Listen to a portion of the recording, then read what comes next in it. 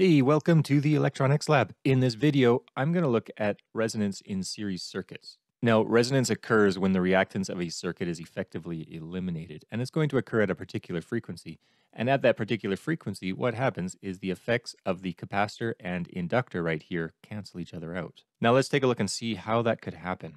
In this particular circuit, the total impedance is equal to the real part of the impedance, which is just the resistor, plus the reactive part of the impedance, the imaginary part of the impedance, which is based on the inductor here and the capacitor. So that's going to be JXL minus JXC. And we can combine these two terms into one. So if XL equals XC, that imaginary part, that reactive part of the circuit goes away. So let's take a look at when this will be true. Well, remember the equation for calculating the inductive reactance is 2 pi FL. And the equation for calculating the capacitive reactance is 1 over 2 pi FC. Well, remember I said that this resonance is going to happen at a particular frequency. Well, we can figure out what frequency that is with a little bit of algebra. So move this 2 pi c over to the left-hand side of the equation. And then isolate the f squared term on the left-hand side and then take the square root of both sides of the equation. So when frequency is equal to 1 over 2 pi times the square root of L times C, the reactive terms canceled out, and you end up with a total impedance that is simply equal to R. Okay, let's take a closer look at some of the finer points of the voltages and currents in this particular circuit. Well, it is a series circuit, so that current is going to be constant. And at resonance, ZT is R with a phase angle of zero degrees. So that works out to the magnitude of the current will be that V in or V1 over R, and it will have a phase angle of zero degrees. Now, what about the voltages across each one of these components? Well, the voltage across the resistor, well, for all of these, it's just going to be current times impedance of the, of the component. So this will be I with a phase angle of zero degrees times that resistance, which also has a phase angle of zero degrees.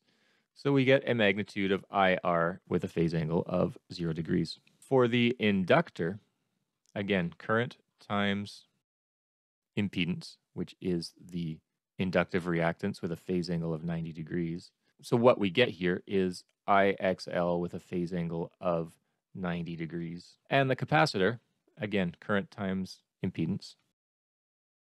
So that will be IXC with a phase angle of 90 degrees negative 90 degrees. And remember at resonance, XL is equal to XC.